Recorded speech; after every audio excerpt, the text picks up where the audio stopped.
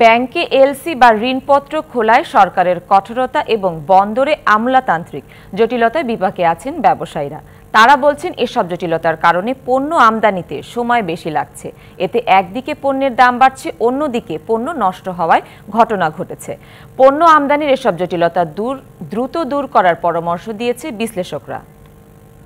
গত ডিসেম্বর মাসে আমি একটা এলসি করার জন্য আমি সোশ্যাল ইসলামী ব্যাংক চিটং ব্রাঞ্চ থেকে এলসিএফ নাম্বার নিয়েছি ব্যাংকে আমাকে দিছে। তরুণ উদ্যোক্তা মাসুদ আলম গেল ডিসেম্বরে তাকে পণ্য আমদানির জন্য ঋণপত্র খোলার প্রতিশ্রুতি দেয় একটি বেসরকারি ব্যাংক আড়াইশোটিরও বেশি ডিজাইন অপশন নিয়ে ওয়ালটন স্মার্ট ফ্রিজ বোঝে আপনার প্রয়োজন। সে অনুযায়ী পণ্য ক্রয় আদেশ দেন তিনি কিন্তু তিন মাসের বেশি সময় অপেক্ষা করানোর পর এলসি দেয়নি সেই ব্যাংক এরই মধ্যে বিদেশ থেকে পণ্য বন্দরে এসে হাজির হয়।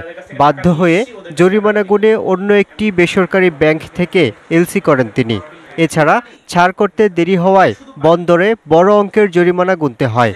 তো ব্যাংক যদি আমাকে এলসিএফ নাম্বার না দেয়, আমি কিন্তু ব্যবহার করতে পারি নাই। ছয় মাস, পাঁচ মাস হয়ে গেল, এর মধ্যে কিন্তু আমাদের যিনি শিপিং লাইন ছিল, যে শিপিং আমার প্রোডাক্টটা নিয়ে এসে ওরা কিন্তু আমাদেরকে বারবার ফোন দিচ্ছে মেইল করতেছে, আমরা সমস্যাটা কোথায় সমস্যাটা কোথায় ওবার ফোনে কল দিচ্ছে। এক্সামিনের দিন একটু বৃষ্টি ছিল, তো আমরা ভাবলাম, যেহেতু বৃষ্টির পানি পড়ল, পড়ার পরে হয়তো প্রোডাক্টটা ড্যামেজ হইতে পারে কিছুটা। যখন কন্টিনিউ করলাম, তখন দেখুন যে না, সমস্ত প্রোডাক্টসই আমার ড্যামেজ হয়ে গেছে। আশি থেকে নব্বই লাখ টাকার প্রোডাক্টস আছে। কিন্তু এখন আমার তিন ভাগের দুই ভাগ প্রোডাক্ট সব নষ্ট হয়ে গেছে। এলসি খুলতে কড়াকড়ি আরোপ করায় প্রায় ছয় মাস ধরে পণ্য আমদানিতে জটিলতা আগের তুলনায় বেড়েছে বলে জানান আমদানিকারকরা। সব ব্যাংকে এমনি বলে যে এলসি আপনার দেন ফোনমা দেন দেন।